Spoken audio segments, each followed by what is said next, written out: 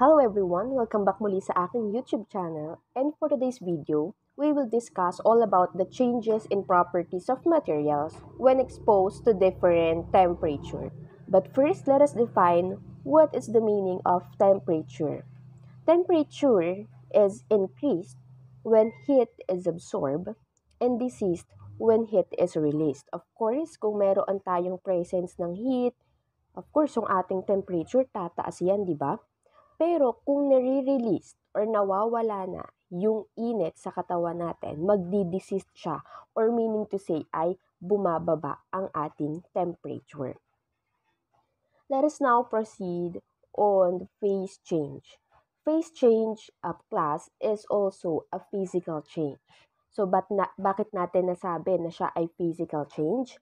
Kasi ang nagbabago lang sa kanya is yung mismong phase niya.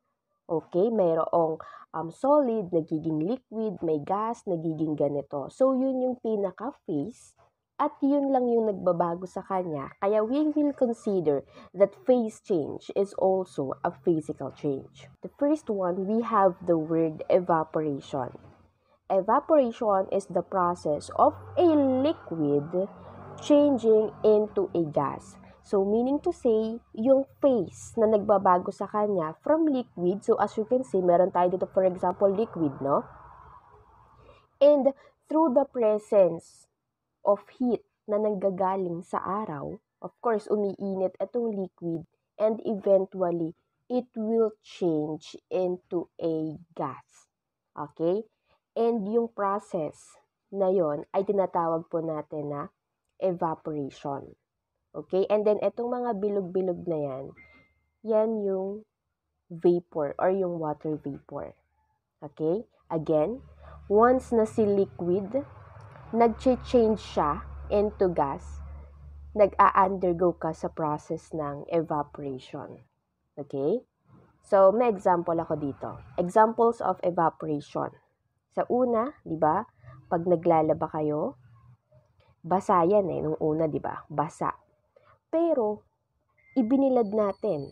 Nung ibinilad natin, nandyan si Haring Araw, na si Haring Araw mainit. Mm. Ito nga yung liquid na tumutulo-tulo dito, nag-evaporate. Okay? Nag-evaporate si liquid into what? Yes, into gas. Kaya yung tawag sa process na yun ay evaporation. Ganon din dito pagka nagkakape kayo, 'di ba? May nakikita kayong umuusok-usok. So meaning to say, nag-i-start na siya na mag-evaporate. So dito sa pangatlong picture, ito binabanggit ko kanina na yung pinakatumataas na yon, that is what we call the vapor and the process is the evaporation. Don't be confused there, ha? Vapor, siya yung umaangat, siya yung pinaka-gas, while the evaporation, that is the process. Ganon din dito, pagka tagiinit tayo ng tubig, kapag nagpapakulo ng sabaw, kaya pag kumukulo na siya, 'di ba, pinapatay na natin. Kasi pag hindi natin siya agad pinatay, mag-e-evaporate siya. May possibility na matuyo yung liquid natin. Next, let's proceed to the condensation. Condensation, dito naman, yung water vapor becomes liquid. So, itong mga nakikita ninyo, mga vapor yan, di ba? Mga water vapor. Now, etong water vapor, mag-change siya into what? Yes, into liquid. Kung mapapansin niyo yan sa mga sasakyan, kapag ka malamig, di ba umpisa para lang siyang hamog? If you are familiar with hamog, yung sa umaga, di ba, namumute yung paligid natin pag madaling araw, ganyan, pagpapasikat na, pagpapaliwanag na, and then eventually, makikita mo sa mga dahon, basa na siya Okay, kasi nag-undergo po siya sa process ng condensation. Water vapor lang siya nung una, pero naging liquid. Okay, yun po si condensation. And meron ako ditong examples. It is nasabi ko kanina. Nung una, di ba, vapor lang siya. Parang namumuti yung nandoon sa dahon natin. No? And then eventually, yung vapor na yon, yung hamog na yon, naging liquid. Ganon din dito sa sasakyan, sa bintana, di ba? Pagka may aircon kayo, alam ko, nakikita nyo to, may nai-imagine kayo, ah, yung pala yung tawag, yes, condensation po yon And then pati, pag nagsalin tayo ng tubig, uh, and then may tumutulo siya sa gilid, that is condensation. Next, we have the word melting. Ay, alam ko, familiar na familiar kayo sa melting. Because melting is the phase change from solid to liquid. As you can see here in the picture, yung ice cube natin. No? Di ba siya ay solid? Pero pag inalis natin siya sa refrigerator, it will turn into liquid. Okay? So, ano pa yung mga um, bagay na naiisip ninyo na nagme-melt. Yes, ito yung ating ibang examples. We have the butter. Then yung chocolate, 'di ba? Pag inalis natin sa ref, yung butter pag uh, through the presence of heat, nalulusaw siya, nag-iiba yung kanyang face. Yung ice cubes and then yung ice cream. No? So, yun lang yung examples ng melting but again, ito ay ilan lang sa mga examples ng melting. Next, freezing, ito naman yung kabaligtaran ni melting. Kung kanina si melting from solid nagiging liquid, ito naman si freezing, nag-freeze, di ba? From the word itself, freezing, nag-freeze. Okay? So, ibig sabihin, yung liquid, it will turn into solid. For example, itong um, bottle na to, na mayroong liquid sa loob, inilagay natin siya sa refrigerator, eventually, titigas siya and that process is what we call freezing. Next is yung sublimation. Sublimation, it can change directly to gas without undergoing the liquid phase. Kasi itong si sublimation at saka yung susunod na deposition, medyo nakakalito siya. Kaya meron ako ditong clue. Pag nakita ninyo yung word na sublimation, di ba it starts with letter S. So meaning to say, ang sublimation from solid, tandaan ninyo ha, from solid, it will turn into what? Ano ba yan? Ano yung nakikita nyo na yan? Yes, gas. Okay, tandaan, ulitin ni teacher. Sublimation, it starts with letter S. So, ang clue natin, from solid, nagiging gas. Okay, direkta siya. Andun yung word na directly. Without kasi without the presence or without undergoing the liquid phase.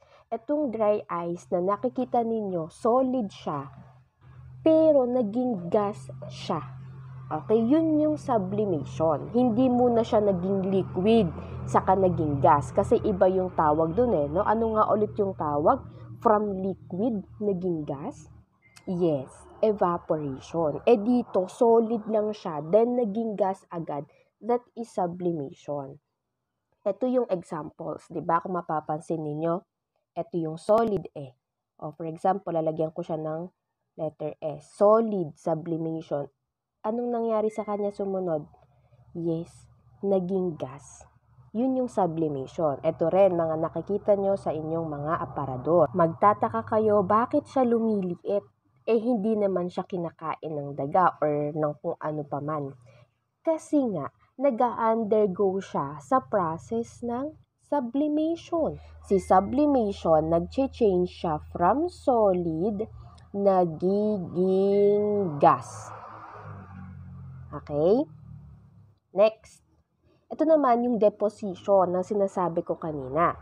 Ito naman, the change of state directly. Nandiyan na naman yung word na directly from a gas to a solid nag-uumpisa naman siya sa gas. So, for example, ito yung gas.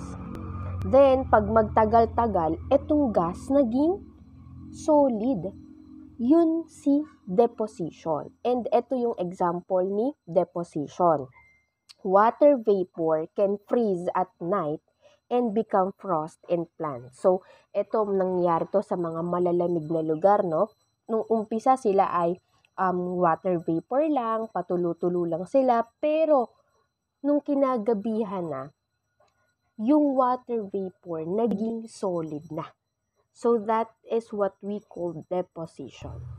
So let's have a short review ulit. Temperature, um, it increased when heat is absorbed and decreased when heat is meron tayong mga changes na pinagdaraanan or yung tinatawag natin na phase changes. Una is yung evaporation, ito yung liquid turn into gas. Next is yung um, condensation from water vapor becomes liquid. Pag naman sinabi nating melting, that is from solid to liquid. We have the freezing, that is liquid to solid. Sublimation, it starts with letter S, kaya siya ay from solid to gas. And then yung deposition, that is um, the change of state directly from a gas to a solid. I hope class na naatandaan ninyo to, um, at least na-enlighten kayo kung ano yung pinagkaiba-iba nila. And kung nagustuhan mo video, paki-like and subscribe ka na rin para um, makita mo yung mga video ko sa mga susunod. Thank you for watching. Goodbye!